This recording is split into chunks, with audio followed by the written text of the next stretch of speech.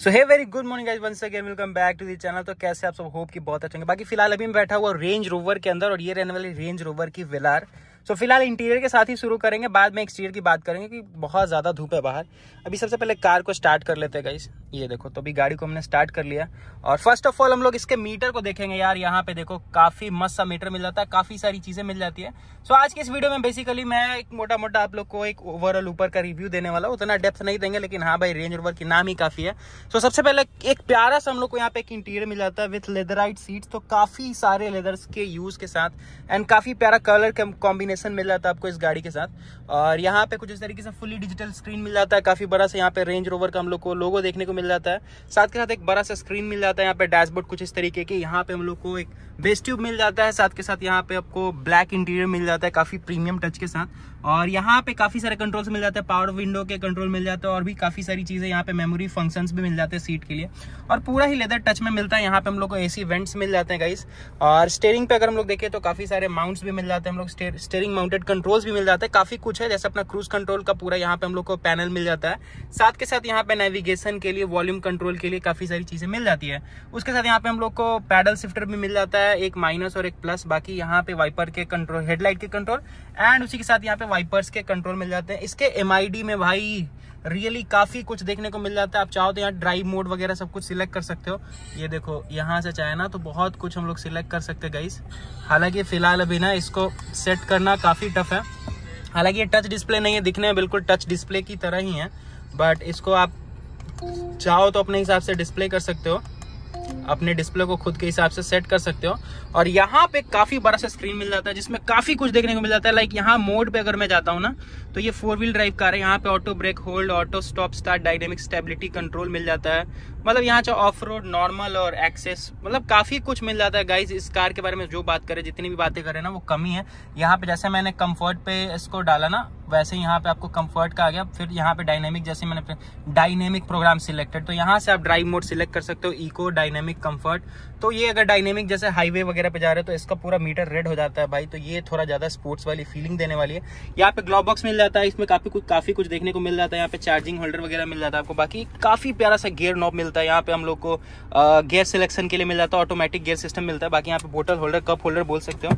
और ये कुछ इस तरीके की की रहने वाली इस कार की काफ़ी प्यारी सी की मिल जाती है हमें। और रेंज रोवर का एक छोटा सा एस्ट्रे मिल जाता है। साथ के साथ यहाँ पे हम लोग को ग्लॉब बॉक्स मिलता है। एक बार ग्लॉब बॉक्स को ओपन करूँगा मैं। ये देखो, यहाँ पे हालाँकि कुछ कुछ सामान रखा हुआ है। और हालाँकि कूल ग्लॉब बॉक्स नहीं है ये बट यहाँ पे चार्जिंग सॉकेट ज़रूर मिल जाता है भाई। हाथ हटा और बाकी यहाँ पे एक बार मैं देखूँ, यहाँ पे सनब्लाइंड मिल जाता है हम लोग को और साथ के साथ यहाँ पे एक लाइट मिल जाता है, साथ के साथ एक छोटा सा ग्लास एरिया पे मिल जाता है हम लोग को। यहाँ पे हम लोग को स्पीकर या ट्विटर मिल जाता है, साथ के साथ यहाँ पे व्हाइट इल्यूमिनेशन लाइट्स मिल जाते हैं।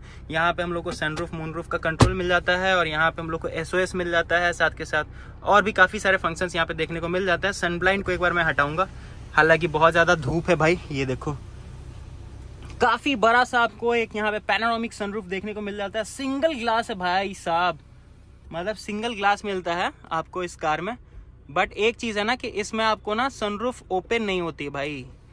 क्योंकि भाई इतना बड़ा सा ग्लास एरिया मिलता है तो ये ओपन नहीं होता, सिर्फ़ आप इसका मतलब पूरा मतलब जैसे मैंने भी इसका ब्लाइंड हटाया, वो हटा के मज़ा ले सकते हो, क्योंकि प्रीमियम कार है भाई। सो इसमें डस्ट वगैरह ना है, इसके लिए ऐसा कुछ है। बाकी यहाँ पे हम लोग को टोन काफ़ी अच्छा मिल जाता है ब्लैक टोन मिलता है रेड का टोन मिल जाता है लेदर के स्टिचिंग्स मिल जाता है, यहाँ पे कुछ इस तरीके से टच देखने को मिल जाता है। एंड साथ के साथ यहाँ पे ग्लोब बॉक्स मिल जाता है ग्लोब बॉक्स में एक बार स्पेस दिखाना चाहूँगा, भाई सीट पीछे कर ले। भाई, ये अपनी टाटा सुमो नहीं है, वहाँ से सीट पीछे होती है। कर ले। सीट के पास। बाकी यहाँ पे ग्लोब बॉक्स मिल जाता है। कूल ग्लोब बॉक्स तो नहीं है। हाँ कूल ग्लोब बॉक्स है गाइस तो यहाँ पे कूल ग्लोब बॉक्स मिल जाता है। यहाँ पे आपको मिरर के कंट्रोल्स मिल जाते हैं पावर विंडोज़ के। एंड यहाँ पे भी आपको कुछ इस तरीके से एक अपना सन ब्लाइंड मिल जाता है विथ ग्लास और स्पीकर्स की तो बात ही मत करो फिर। मुझे लगता है ना भाई, इसमें अपने को मिल जाता है मेरेडियन के स्पीकर सिस्टम्स मिल जाते हैं आपको इस कार में। और एक बार मैं ना इसको रिवर्स पे डालता हूँ। भाई डी पे चली गई। रिवर्स पे डालने के बाद यहाँ पे थ्री सिक्सटी कैमरा मिल जाता है। पता नहीं बैक गेयर कैमरा क्यों नहीं काम कर रही है? थ्री से इसको मैंने हटाया। ये देखो भाई साहब, कुछ इस तरीके का पूरा कैमरा का सेटअप मिल जाता है भाई थ्री में। मस्त आप लोग देख पाओगे भाई, किसी भी व्हील्स को भी देख पाओगे। ये देखो, मुझे बैक व्हील अभी कार शो कर रही है, फिर फ्रंट का व्यू मिल जा रहा है। इस साइड क्या स्पेस बच रही है, इस चीज़ के बारे में मुझे यहाँ पे देखने को मिल जाता है। तो भाई यही फ़ायदा है और कितनी प्यारी लग रही है कार ये देखो। मतलब चारों ही चक्के आपके ना कहाँ पे हैं, उसके बगल में क्या है, वो आपको देखने को यहाँ से मिल जाता है भाई साहब, जो कि एक काफ़ी प्रीमियम सेगमेंट वाली फीचर है और रियली ये कार प्रीमियम है भी। सिंगल लाइक एक बार हम लोग लाइक इसको प्रेस पे डाल देंगे पी पे डाल देंगे तो गाड़ी पार्किंग पे चली जाएगी। और बाकी इसमें भाई आपको म्यूज़िक सिस्टम मिल जाता है ड्राइविंग डायनेमिक्स मिल जाते हैं। टॉप स्पीड की बात करें तो two forty kilometre per hour की टॉप स्पीड है, जो कि बहुत जल्दी कार अचीव कर लेती है। मोटा मोटा अगर पीछे देखे तो यहाँ पे कुछ इस तरीके से आइसोफिक्स सीट्स का ऑप्शन मिल जाता है हम लोग को और पीछे अच्छा खासा कंफर्ट मिल जाता है। और म्यूज़िक सिस्टम की तो फिर बात ही नहीं करी मेरिडियन की म्यूज़िक सिस्टम मिल जाती है हम लोग को इस कार के साथ। और अब अगर हम लोग बात करें, एक बार बाहर से मैं आपको इस कार के बारे में सब कुछ दिखा देता हूँ एंड बता देता हूँ।